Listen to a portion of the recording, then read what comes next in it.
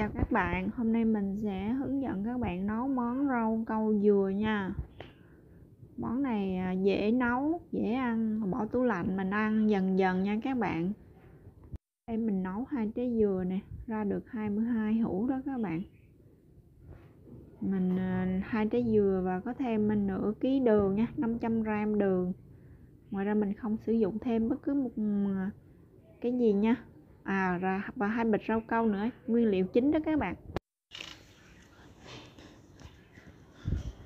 Bây giờ mình sẽ đi chuẩn bị nguyên liệu nha các bạn. Mình có đi mua hai trái dừa và mình nhờ người ta chặt nước giùm á. Để lấy nước giùm mình, về nhà mình khỏi chặt. Đây, mình bắt à, mình sẽ được một lít rưỡi nước các bạn. Một lít rưỡi thì à, nó hơi ít, nên mình có cho thêm nửa lít nước vào nữa nha các bạn nửa lít nước nữa là, và một lít rưỡi nước dừa là mình sẽ được 2 lít nước. 2 lít nước là nếu như ờ, đúng theo yêu cầu ờ, của trong cái bịch đó, thì 2 lít nước là cho một bịch này. Nhưng mà do nhà mình thích ăn nó hơi cứng một tí á, nên mình dùng hai bịch luôn nha các bạn. Nếu mà các bạn muốn ăn ờ, bình thường, nó hơi hơi lỏng lỏng một xíu thì có thể cho nhiều nước hơn, nhưng mà nhà mình thích ăn nó cứng cứng á, nên mình chỉ cho 2 lít nước cho hai bịch nha. Rồi, các bạn quậy đều lên cho mình. Lúc này là mình đã bật bếp rồi nha các bạn. Các bạn quậy đều lên. Vừa nấu vừa quậy luôn nha. Để cho cái bột rau câu nó tan ra đó các bạn.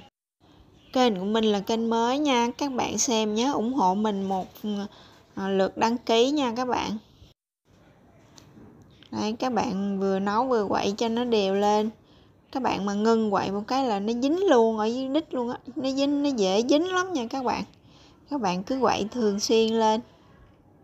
Món này mình nấu ờ, bỏ tủ lạnh cho mấy đứa nhỏ con rất là thích ăn nha. Vừa làm ở nhà vừa an toàn nữa các bạn ạ mình mua nước dừa về mình tự mình nấu, vừa sạch sẽ vừa ngon nữa các bạn ạ.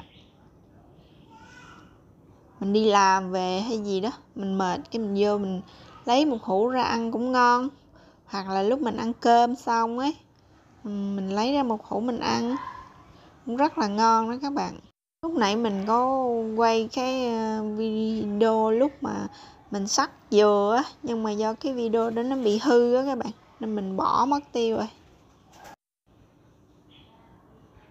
À, các bạn nhớ đảo thường xuyên nha. Các bạn đảo thường xuyên lên giùm mình nha.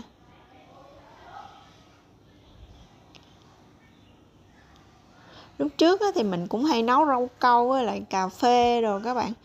Pha cà phê rồi quậy lên pha dứa rồi cho nó có màu này màu kia nhưng mà mình thấy nó cũng nhiều màu á, nhìn nó cũng không có gì ngon mà mình thấy nước dừa này nấu với nước dừa này nó rất là ngon này các bạn. Lúc này mình nấu đã được 10 phút rồi này các bạn, mình cho 500 gram đường vào nha. Là nửa ký đó các bạn. Các bạn cho thêm nửa ký đường vào, quậy cho nó tan lên nha. Các bạn nhớ quậy thường xuyên nha, bỏ đường vào cũng quậy thường xuyên luôn lúc này là mình nấu được 10 phút rồi đó các bạn.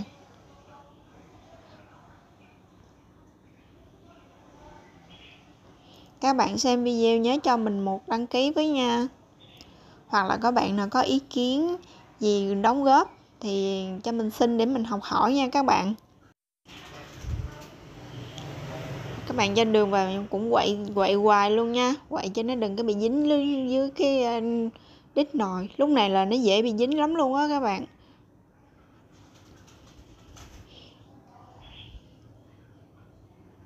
Các bạn nấu hoài hoài cho nó khoảng 10 phút cho nó bắt đầu tí nữa mình bỏ dừa vô nha các bạn.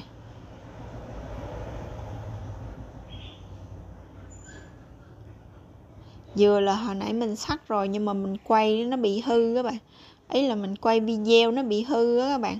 Nên mình không mình bỏ cái khúc đó mất rồi. Cái khúc mà giới thiệu nguyên liệu đó.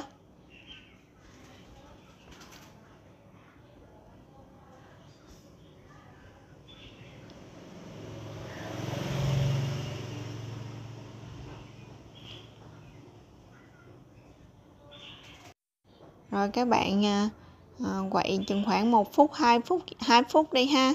Rồi các bạn bỏ dừa mình đã sắc sợi vào dừa các bạn sắc sợi nhỏ nhỏ vừa ăn nha.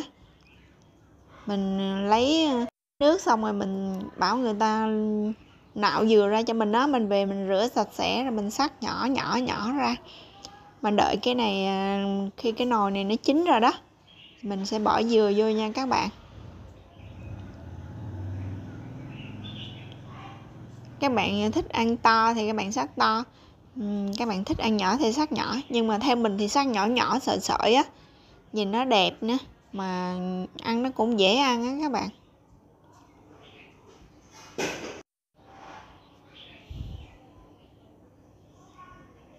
Đấy, mình sắc xong rồi nè.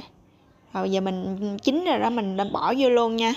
Nhưng mà vẫn vẫn chưa có tắt bếp nha các bạn. Các bạn đợi một tí nữa.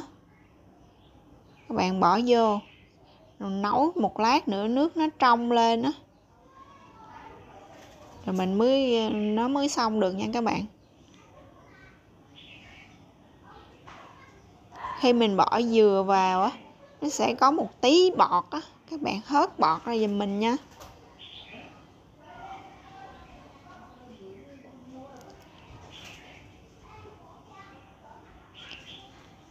Đấy, các bạn nấu ờ, chừng khoảng tổng thời gian nấu là khoảng 15 phút nha các bạn. Đó, các bạn múc nước lên các bạn thấy nó trong không? Đó nó trong như vậy là được nha các bạn. Như vậy là đã chín rồi đó cái nồi của mình đã xong rồi đó các bạn. Giờ mình chỉ ờ, lấy ra và bỏ vô ly thôi. Các bạn đợi cho nó nguội một tí rồi hả? Bỏ vô ly nha. Nhà các bạn có khuôn á thì các bạn bỏ vào khuôn còn không thì mình có thể mình sử dụng cái ly mà dùng một lần đó các bạn. Các bạn dùng cái ly đó cũng được. Mình bỏ vào tủ lạnh mình ăn dần dần.